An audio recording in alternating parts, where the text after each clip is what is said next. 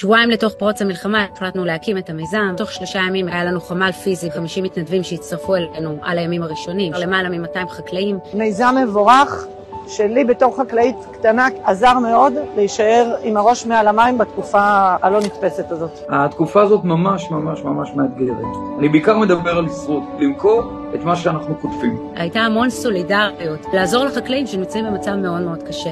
כולם באים לפרגן, כולם מבינים, חוץ מהממשלה, כולם מבינים שהחקלאות והחקלאים זה דבר שהוא מבורך וטוב. הדבר הכי חשוב, שיהיה לנו מזון טרי, בריא, איכותי, נגיש לכל האזרחים במדינת ישראל. ווין ווין, הצלה. אנחנו ממש מרגישים שעם ישראל מציל אותנו. זה מראה מה זה עם ישראל חי. המיזם כולו טהרת ההתנדבות, אפס פערי תיווך.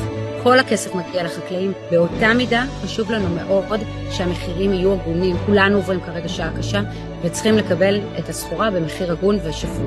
קודם כל איכות ואחר כך מחיר. וזה מתגלגל ממש מפה לאוזן. מה שלנו מאוד חשוב במיזם זה יצירה של קהילות. זה נורא כיף, החיבור הוא אישי בינינו החקלאים לבין הצרכנים. מכירה שנגמרת ואני רואה שהתוצרת נעלמה, פרצופים קצת מחייכים, זה גורם לי לאושר. סוף סוף יש מישהו שבא ונהנה ואומר לך את זה. מאוד מרומם את הרוח.